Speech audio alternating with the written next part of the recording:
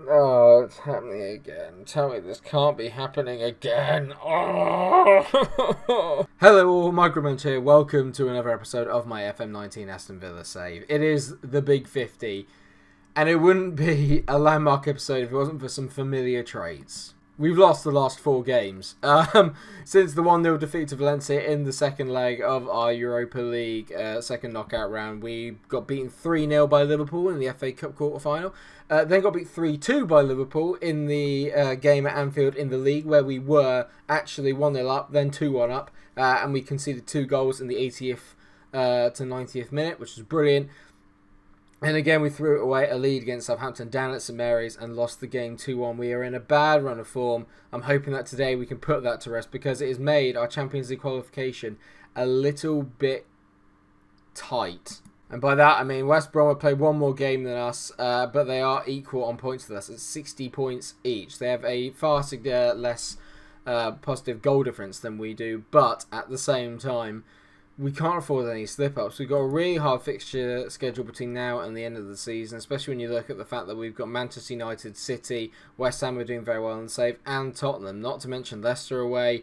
And it, more importantly, obviously, we've got the Europa League thrown into that as well. So there's just so much going on right now, and we really need to turn the form around. And that starts today with a game against Rapid Vienna in the first leg of our Europa League quarter final.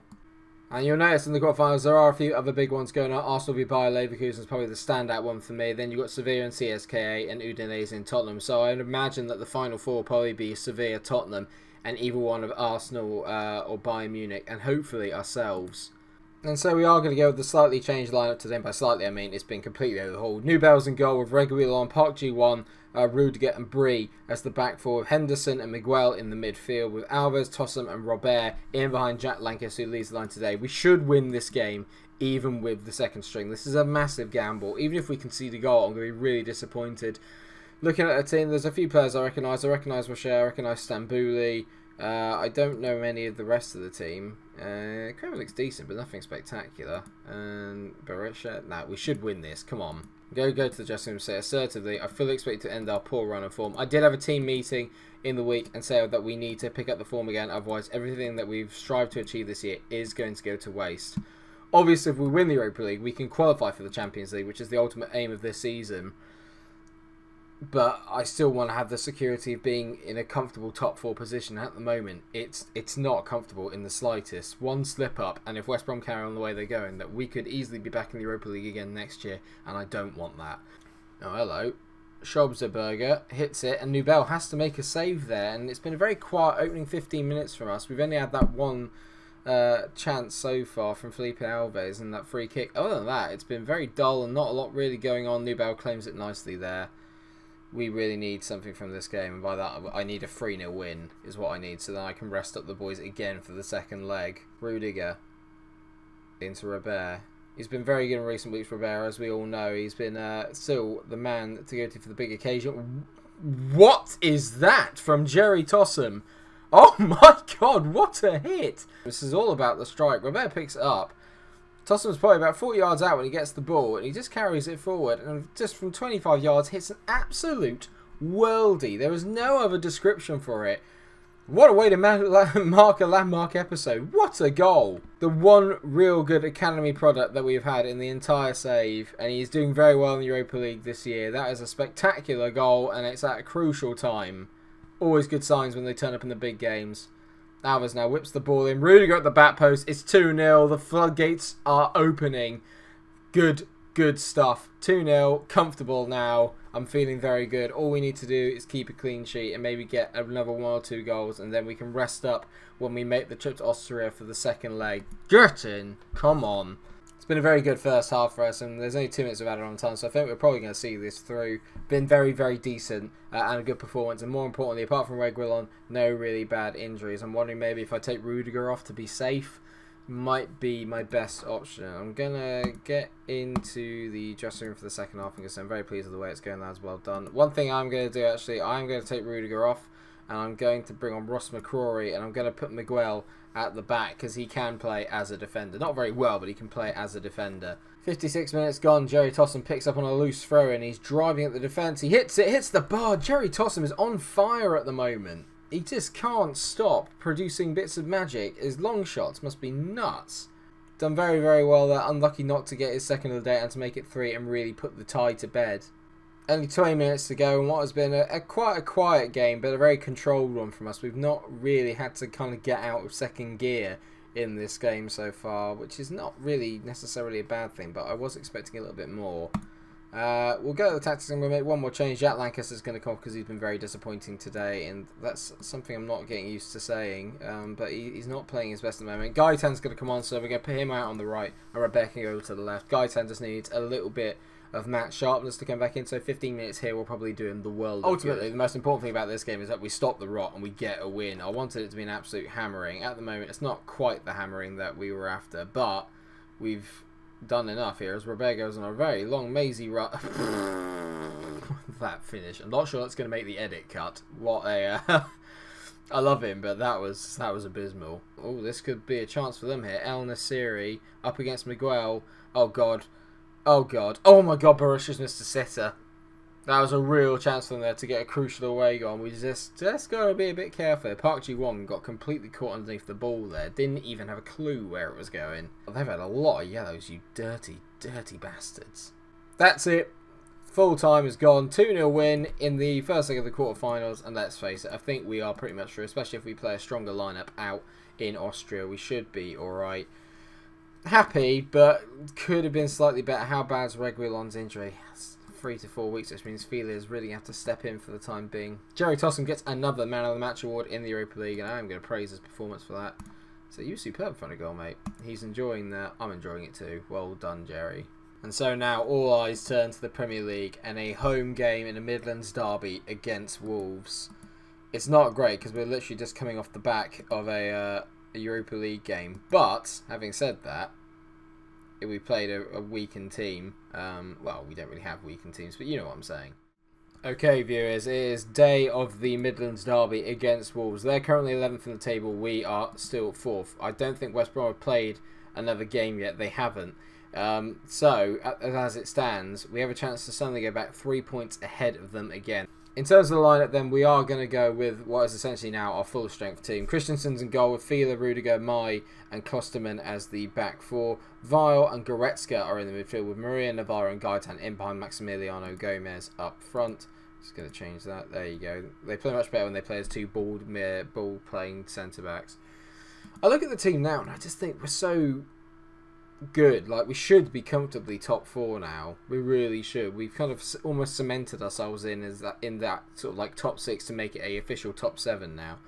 But Wolves got some decent players there. They got Andre Silva, who's very good. Matondo is a guy who gives me no end of problems on this game, as is Avocado in the middle of the pitch with Uncham, who I didn't realise is actually listed as a wonder kid at the start of this game. He hasn't really kicked on so much though uh, for Wolves, so we should really be winning this game really, if we have any aspirations of finishing in the Champions League place, we need to win this. So I'm going to say I expect nothing but a win from this match. It's fired up quite a few of the lads.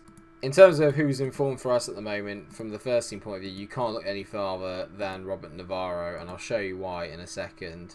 Because when you look at Navarro, even in the last five games, he's got two goals and one assist, but he's just been so good this year in his output. He's got 14 goals and four assists. I'd expect more assists, actually, for a guy who plays in the attacking midfielder role, but he's just been crucial to the way that we've played so far this season, and I'm hoping he can put in a big performance today. I need him desperately to put in a big, big one. Put in a big one. Um, excuse me. Straight to Rudiger. Now, can we hit a little bit of a counter attack here? Navarro, great switch of the play out to Gaitan. Gaitan into the driving into the box now. Gaitan hits it. Can't quite wrap his foot around it enough to bend it into that far corner, but good, good opening signs from us here. 25 minutes gone. I've demanded a bit more of the boys. There have been no more highlights, but Wolves look like they have a chance here as Johnny throws it to Avocado. And he gives it to Hakim Ziyech. Johnny now on the right. We've got problems when they put the balls in. Avocado into James Maddison. Back to Avocado. Avocado to Uncham. Back to the Avocado. Back to Uncham. They're playing the ball around nicely, and I'm worried they're going to get a man over. Great ball by Matondo to Hakim Ziyech, and a good save by Christensen. Great play by Wolves, and we're lucky that they didn't score there. I've got a problem here with Anthony uh, Antonin Vile, who's looked nervous all game, and it was touted before the game kicked off that Borussia Dortmund were interested in him. This is another reason why it's so crucial now that we actually maintain Champions League football. Otherwise, I'm just going to continually lose our best players like Vile, like Navarro, like Pele Maria. I need I need Champions League football. It's the just the bare minimum requirement, and we're just playing so poorly. Lee Mason indicates it's the end of the first half, and it's been a, yet another disappointing performance. And I'm going to get aggressive with the boys and say that I expect far better. It's just not good enough. Gomez has been really out of form recently. Going forward, the only players that have been in any good form are Navarro and Gaitan. Other than that, we've been absolutely piss poor in recent weeks. Okay, well, the game kind of drifting away from us here because nothing's changed too much in the second half. I'm going to bring on Jack Lancaster and we're going to go try and maybe go for a 4 4 2. Uh, so we'll get him on the, the advance. So we'll get him playing up front with Gomez and then we'll get Vile and maybe actually we'll drop Navarro a bit deeper as well and get him playing as an advanced playmaker. Yeah, that will work. We'll try that and see how we get on. I know it, it's a bit risky, but I'm in desperate need of some goals right now. Maybe a little change of formation will do the job. I'm not 100% sure. In all fairness, Navarro is not having a very good game either. I always struggle towards the end of the season. I don't know if it's burnout. I don't know what it is, but it's pissing me off now. We're to take Navarro off. On comes Jordan Henderson. He's to play as the deep line playmaker now. And then we're going to let Vile just go and roam free. Get him on the attack. Get him moving forward. And actually, I'm going to take Gomez off. I'm going to bring Jerry Tossum on. So Tossum's going to go back. We're going to go back to the 4-2-3-1, but with a few different personnel. Because Gomez isn't doing anything to make me think that he warrants being our number one striker at the moment either. He's not getting any goals. We're all over the place at the moment in terms of a, a, an attacking unit. Just nothing's happening for us. I mean, look at the amount of shots we create. But just, I'm sick of goalies playing at 7.5s and shit. I'm just tired of it. 10 minutes to go. It's just going to be another nil-nil. It's just going to be another load of nil-nil shit. It's just so infuriating at the moment. Rajkovic is playing at 7.3. Piss off. Corner. Gaitan, please. Rajkovic claims it. This is going to be a Wolves goal. I can sense it. I can sense the breakaway. I can feel it. Rajkovic kicks it long. Thieler, good touch. Come on, boys, please. Fila hits one over the top. That's just completely aimless into nobody. Timing into Rajkovic, hits it. Callum Wilson doesn't win the header, but Mai does. But we give it straight to bloody Avocado. Here's Callum Wilson. I'm just waiting for it.